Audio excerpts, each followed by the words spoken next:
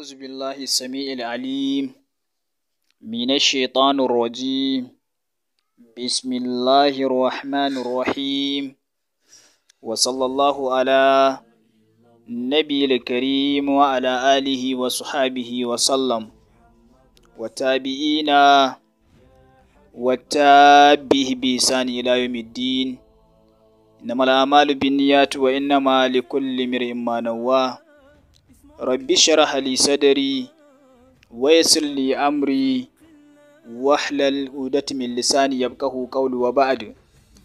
Ah, malamai na cikin wannan gida namu mai tarin albarka da shainai da sharifai da yan uwana almajirai ina mana sallama da gaisuwa irin ta addinin musulunci assalamu alaikum wa rahmatullahi ta'ala wa barakatuhu.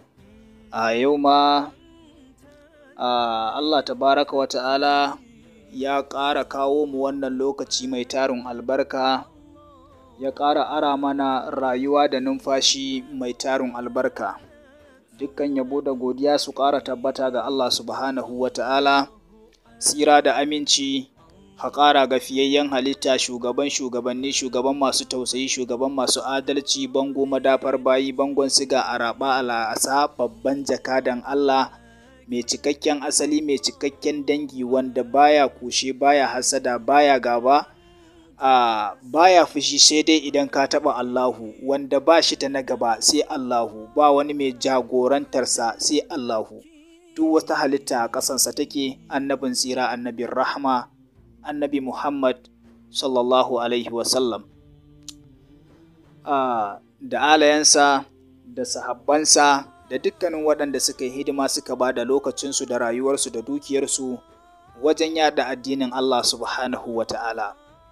a da dukkanin manya-manyan shenai da malamai wanda Allah tabaraka wa ta'ala ya sa albarka a cikin rayuwarsu har suka bar mana waɗannan sirrika masu matuƙar amfani da albarka da muke kawowa ake yin tawassali da su wajen samun biyan buƙata wajen biyan buƙata dai kowane irin insha Allah ta'ala.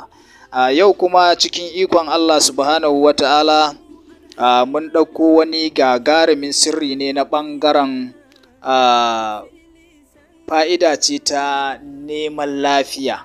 Ma'ana kana da mara lafiya ko da ya shekara nawa ko da ya shekara nawa. Da ikon Allah alfarma annabi da alkur'ani wannan mara lafiyan zai samu lafiya cikin ikon Allah. Uh, wannan aiki yan uwa masu albarka yana da sauƙi wajen aikata kuma ba a ware wata cuta ba. Kowace irin cuta ce za a iya yin wannan aiki insha Allahu ta'ala.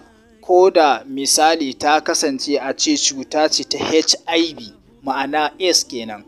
Wasu ɓangaren su ana ce mata sida so ko da irin wannan cutar ne za ka yi amfani da wannan sirrin kuma Allah tabaraka wa ta'ala zai ba da lafiya. Idan abin da ya shafi typhoid ne hawan jini sikila da duk irin abin da ka sani insha Allahu ta'ala idan ka yi amfani da wannan sirrin kowace irin cuta ce da wacce aka sani da wacce ba a sani ba an yi an yi an yi an yi maganin an kasa gane wacce cuta ce ba a samu lafiya ba to dan uwa mai albarka ka yi wannan sirrin cikin ikon Allah alfarmar sayyidina rasulillah za a ga an samu biyan buƙata. Yanda aikin yake misali in ka tashi rubutun suratun nisa'i daga farkonta har ƙarshe ake rubutawa. Amma duk aya ɗaya idan ka rubuta suratun nisa'i aya ɗaya aya ɗaya sai ka ɗauko a suratul fatihatul kitab aya ɗaya ma'ana alhamdulillahi rabbil alamin ita ma har zuwa ƙarshe garin maktubi kenan alayhim waladdali haka za ka yi. Duk suratun nisa'i aya ɗaya fatiha kafa ɗaya. Suratun nisa'i ɗaya Uh, fatiha kafa uh, suratun nisa'i aya ɗaya fatiha kafa ɗaya. Haka za ka yi wannan aikin ɗan uwa mai albarka.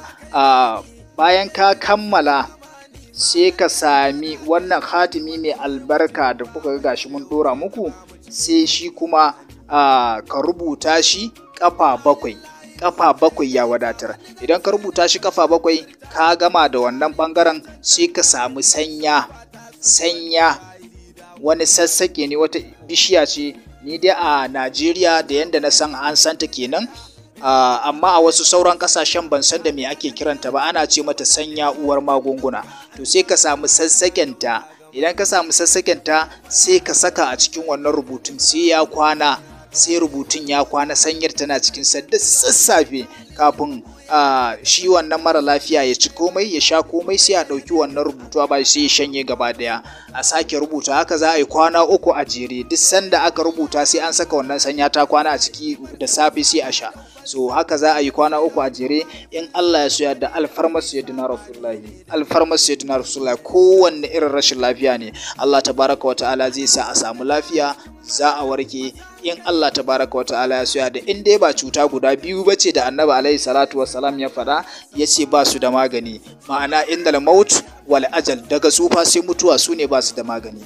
Matukar kana raye dole ka tsufa kuma matuƙar ka tsufa dole ka mutu.